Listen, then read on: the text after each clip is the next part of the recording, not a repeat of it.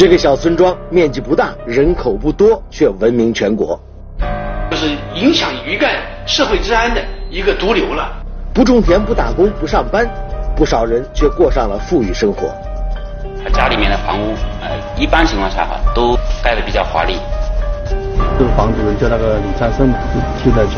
这里的年轻人有的足不出户，却腰缠万贯。它有一种羊群效应吧，也是一种从众的效应。他们到底有何致富的奥秘？诈骗村的末日，今日说法即将为您播出。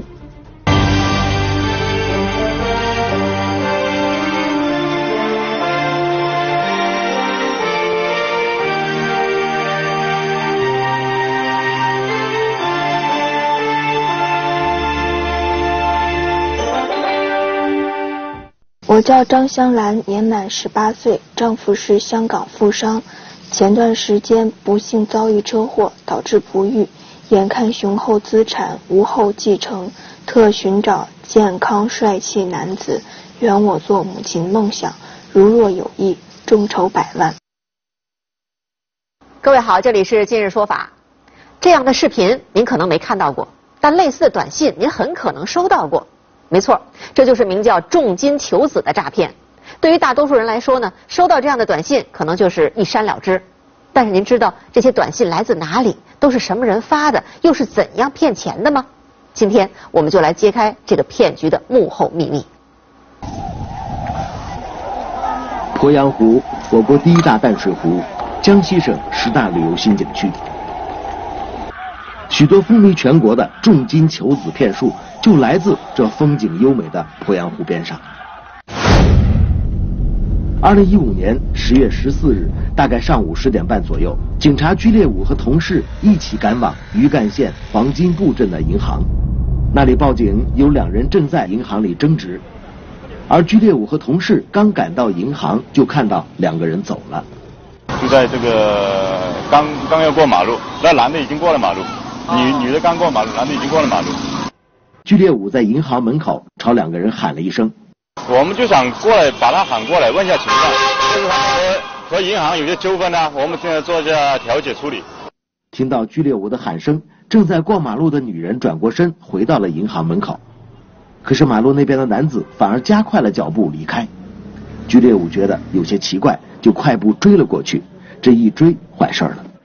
但他一看到我们也过马路，他撒腿就跑，他一直跑跑，我跑我们肯定追，然后又追到那个对面。一个在前面跑，一个在后面追，这样大概跑了七八十米远后，徐烈武终于追上了那个男子。经过向银行询问，才知道这一男一女在不久前来到了银行。他一解锁呀，他说他的卡锁掉了。就那边那个柜台。对我们第第一柜解锁。这对中年男女本来在银行外的柜员机上取款，但是连续三次输错了密码，银行卡被吞，于是两个人来到了柜台，要为银行卡解锁。如果要解锁的话，那需要一个什么程序？他们这？是要出示身份证的卡。就是身份证。本人的身份证 A 卡。两个人按照要求出示了身份证等，但是吴建芳却不同意给他们解锁，因为女子拿的身份证看上去并不像她本人。我经过核实了一下，还是不像的。嗯。所以我就叫我们坐班主任过来，也看了一下，我们坐班主任也说不像。按照银行规定，要给银行卡解锁，必须本人拿着自己的身份证才可以办理。在遭到吴建芳的拒绝后，女子坚持在柜台前不走。这样的情况下，银行报了警，两个人就这样被带到了派出所。他说了浙江人到这里取钱，他没什么没犯法，你凭什么抓我？男子很激动，虽然他说的是普通话，可是居烈武一听，觉得对方是在说谎。但我们一干这里人。说普通话都带点本地的口音，一听出来是蛮像的，我们就当时就怀疑了。在两人身上，警察找到了一把车钥匙。男子说他们并没有车，车钥匙是他捡来的。不对，一个男的又不是小孩子是吧？带个车，带个捡的钥匙。居烈武根本就不相信，他拿着车钥匙回到银行门口，边走边按，最后真的在附近一个废弃的停车场里找到了一辆小车。有那种遥控的，一按的话，那车子就会响。车当时停这个位置，啊，这有个大车子挡住了。这个汽车的站点已经废弃了多年，偶尔会有几辆车停在里面。那个男子的车就藏在其他车的后面。一般人都不会到这里面来的，说明他是有动机的嘛。嗯，在车里面，警察找到了一本行驶证和一张身份证，都是该男子的。经过查证，男子名叫张发财，女子名叫李小玲，两个人是夫妻，都是本地的农民。一连串的情况让居烈武觉得很不正常，案件很快移交给了余干县公安局。侦查员调取了两个人银行卡的账单后，有些吃惊，就发现这个进账蛮大的，两张卡，两张卡呀，两张卡总共有十八万块钱，大概就两个来月。两个四十多岁的农民，没有工作，也没做生意，短时间有这么大的资金往来，显然不正常。而面对警方的讯问，这两个人倒也痛快，很快就全说了。我说你是哪来的这么多钱？你做什么生意？啊，他说这个不是，这是我骗的，这我骗别人的钱。这夫妻俩还真是爽快人，全招了。没错，这俩人使用的就是重金求子这种骗术。这种骗术主要是由女人来完成，男人呢只是做一些辅助工作。所以在行骗的时候，李小玲就成了主要角色。由于李小玲呢正在哺乳期，目前呢正在取保候审。其实啊，重金求子这种小广告，我们很多人都见过。我来给您念一段：我是张香兰，今年三十岁，丰满迷人，嫁香港富商，因丈夫没有生育能力，特寻找健康男士圆我做母亲的梦想。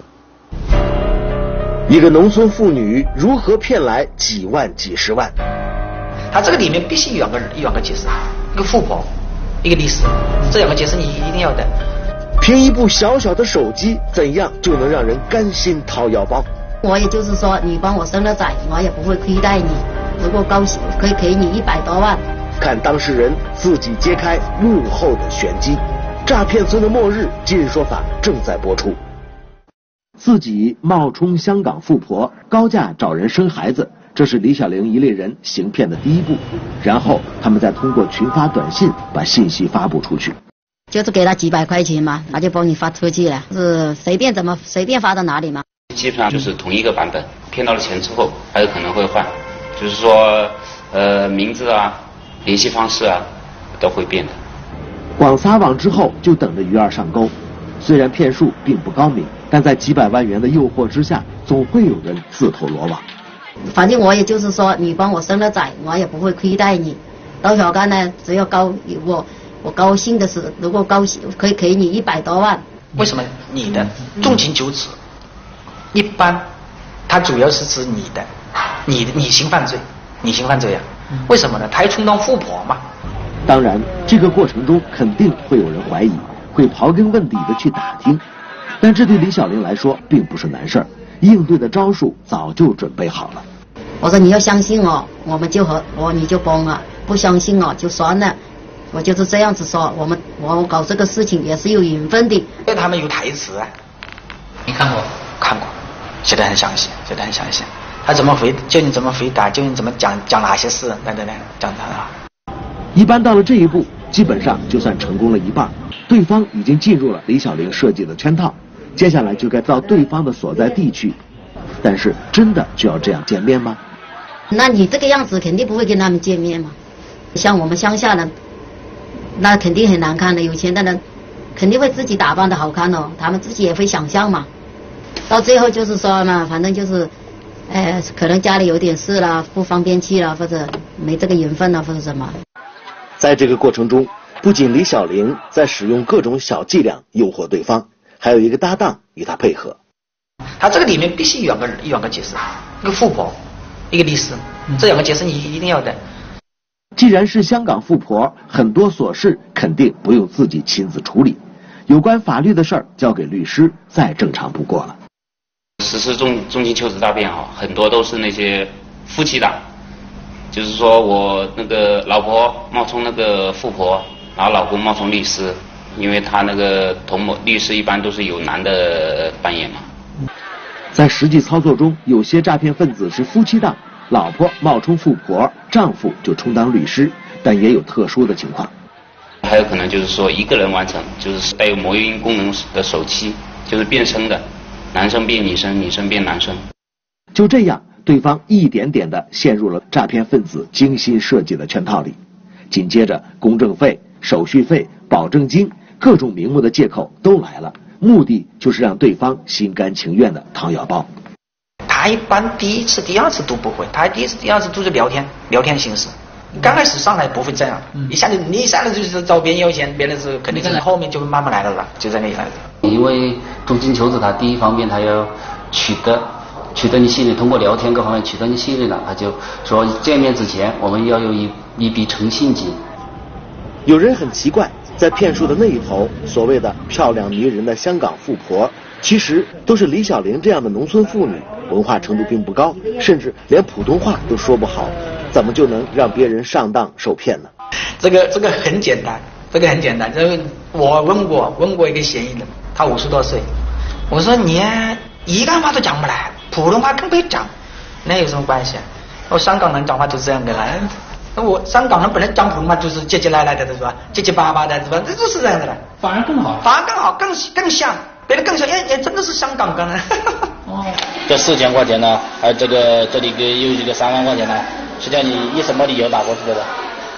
他就是叫我打过去，没有被李小玲骗得最惨的就是他，是个来自江苏宿迁的农民，名叫大伟。被骗的金额是五万八千元。从二零一五年六月最初的两三百元，到七月底，李小玲一共从大伟那里收到了十多笔汇款，单笔最高超过一万。我们见面以后，这个人一口否认，没有没有上过当，因为这种毕竟不是很光彩的事情。可能会会引起来什么邻里亲戚朋友的嘲笑。而大伟的老婆癌症晚期，正在医院里治疗，儿子在外面打工赚钱，被骗的这些钱对他们来说是救命钱。他自己也是自己也是讲，确实当时确实家里需要钱，需要需要一笔钱，当时对这笔钱只是太充满期望了。说起那些被自己骗过的人，李小玲显得很冷漠。被骗的人是谁？又遭遇了哪些变故？这一切仿佛都与他没有丝毫的关系。你说了他就相信嘛？反正又就是同同生同色的人，贪财贪色的人啊。其实这种诈骗方式是比较老套的，就太难了。嗯。又有米色，又有给钱给你，天下掉馅饼这个时代谁谁那个？大家不想一下，这这个馅饼砸下来会砸到你不咯？有写剧本的，有演律师的，有办卡的，也有取款的。重金求子诈骗呢，往往是个产业链齐全的行当。而在全国来说，这类诈骗的多发区主要集中在余干县江埠乡的两个村子里。记者亲赴诈骗村，情况让人吃惊不小。村庄里面有那个专门就帮你那个一条龙服务的。因为这个中年求职就像个病毒一样，传播的非常快。除了骗术，这里还有让人更加震惊的东西。通过重金求职。获取资本积累以后，反哺势力的他有一种膨胀，很多老百姓围到嘛，不让你把人带走嘛。行内人亲自揭秘诈骗村前世今生。以前都是这样的好困难，一个人是三百年。从事这个时间比较长，八十年代嘛就开始了。诈骗村的末日，今日说法继续播出。从余干县城开车半个小时就到了石溪村。一条不宽的水泥路，两边一栋栋的楼房，大部分都是三到四层的，外立面贴着漂亮的瓷砖，气派的不锈钢大门，很多城里才有的娱乐设施，在这个小村庄里都能看到。从事的重金求子诈骗的话，他家里面的房屋，呃，一般情况下哈都做呃。盖的比较华丽，在水泥路边的电线杆上张贴着很多代发短信、专业办卡、销售魔音手机等各种各样的小广告。这些东西都是重金求子诈骗中可以用到的。就是说，他们可能村庄里面有那个专门就帮你那个一条龙服务的，帮你就是你就是也发那个短信、发购买卡那个的。记者跟着警方进村时，正在闲聊的村民都转头看着我们。在诈骗高发的石溪村和团林村，很少有人外出打工，很多年轻人都待在家里。外面的是城子里面写的过来的那个诈骗，是那个城子钱钱过来的，这个经验是一个有一部分，有一部分呢在搞那个诈骗的。孙支书说，外面称他们这里是诈骗村，在他看来，那是因为以前大伙的生活太困难了。有八千八百人，四百七十多户，以前都是生活的好困难，一个人是三百钱。地少人多，深陷贫困，这之中尤以石溪村最为厉害。大概在二零一零年左右，重金求子的骗术从外面传到了这里，很快就落地生根了。因为这个中年求子像个病毒一样的，传播的非常快。因为它的这个犯罪成本太低了，是吧？你抓到他，打击了，打击打击起来是非常难的。由于石溪村处于几省交界处，除了重金求子这类诈骗，很早的时候，一些新奇的其他骗术也从外面传了过来。他们从事这类的诈骗活动的时间比较长，八十年代吧就开始了，啊，那个时候就开始丢假金戒指，套套红蓝铅笔，啊，那么逐步在演变。我把这个套在红笔上，你看这张白纸再套在哪支铅笔上？蓝色。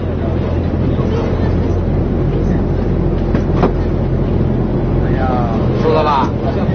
再来，再来一次，不怕你啊，来吧，来，下一千。哎呀。从丢假金戒指，再发展到这个三张扑克牌，再后来招工信息，再脑溢血、骨灰盒等等。那么近几年呢，逐渐演变成为这个重金求子。瞧瞧看一看啊，咱们玩个小游戏，扑克三张，三张扑克，来来来来来，哎，压十块赔十块啊，压一百赔一百，哎，他不是他不是啊，这么一倒一串，你说哪个是啊？中间二百，二百，还有压的吗？还有压的吗？对，我压那个，压五十了。好嘞，啊，不好意思啊，你压错了啊，在这儿呢。你压？哎，它有种羊群效应嘛，也是一种从众的效应。一这个一旦从事的人到了一定程度以后啊，大家也也就觉得非常正常了，啊，慢慢就跟风了，啊，就不以为耻。二零零三年。国内媒体对余干出现的诈骗现象进行了大量曝光，曾经轰动了整个余干县城。但是在利益的驱使之下，诈骗死灰复燃，最终演变成今天的情况。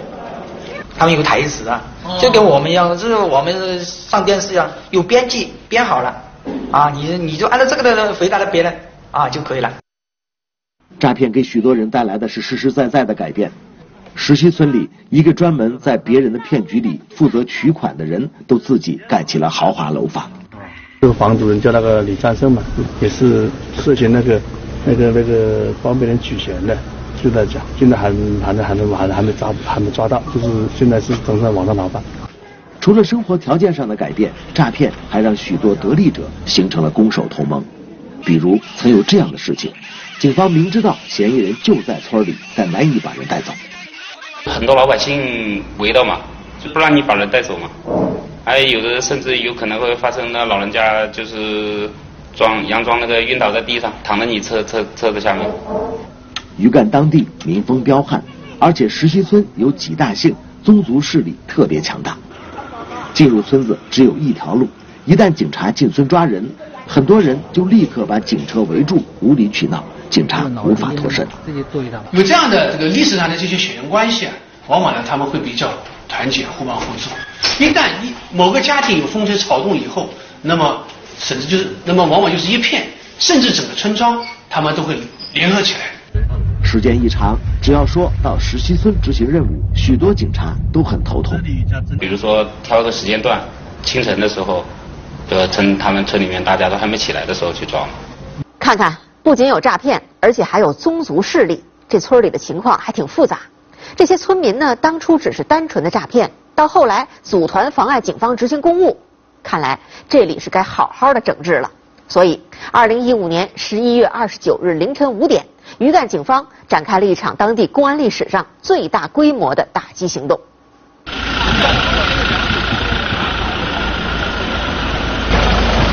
今天当中可能起掉一地之多。严重防御。车子跟在上，车子后面。好，车子摆齐了吧？警方当时的目标就是前面提到的那个李小玲所在的石溪村，以及隔壁的团林李家村，这是重金求子的诈骗重灾区。就是影响余干社会治安的一个毒瘤了，我们必须把它拿下。把它的土壤彻底给它去铲除掉去。呃，你推进的速度啊，稍微加快一点。警方的压力很大。二零一五年十一月初，公安部联合二十二家部委召开了打击电信诈骗专项行动会议。在这次会议上，余干被点了名。我们做了充分的思想准备，万一出现这种情况，咱们怎么办？万一出现那种情况，咱们怎么办？我们都有详细的方案。呃，你们强制器材的，统统自己带回到局里统一上交。为了配合这次行动，上饶市公安局调动了三十名特警、五十名武警进行支援。余干县公安局甚至专门买了一架无人机，用于搜寻时的空中侦察，防止突发事件发生。你们去了多少警力？我们三百多。当时我们也是两个村庄，就是有那个苗条，苗条啊，呃，械动的苗苗条，然后警力就进去了。这次警方要采取行动的时间具有突发性。当时石溪村与另一个村庄发生了矛盾，两大宗族势力带着各自的家族，即将要发生一场械斗。获知这个情况之后，余干警方果断决定马上进村。我们准确地把握住了战机，迅速控制现场，对现场高压态势，马上实行治安管制。治安管制以后呢，对所有的这种现场的嫌疑人员。马上开始大面积进行清查。石溪村依河堤而建，呈带状，只有村头和村尾两个行车的路口。根据安排，武警、特警负责守住路口和巡逻，其余警力入村入户进行搜查。注意了，注意了，快点行车！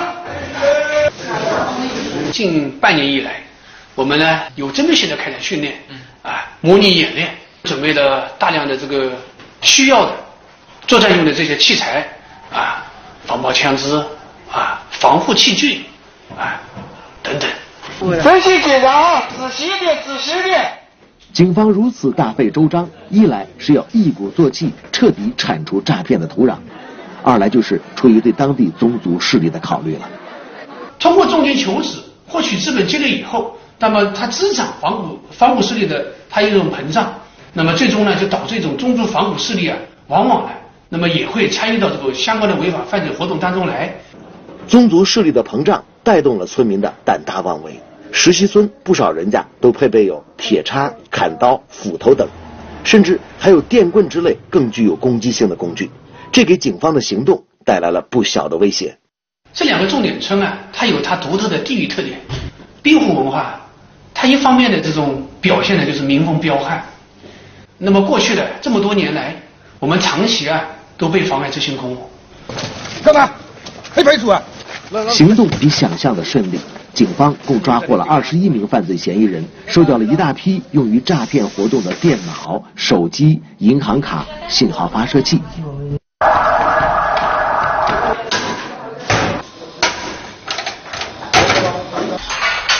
还有自制的钢叉、梭镖、弩、防弹背心、头盔等攻击型器械。这是电信网络诈骗的一种并发症，甚至啊超过了重金求子这个电信网络诈骗的本身。所以我们为什么把它称之为毒瘤啊？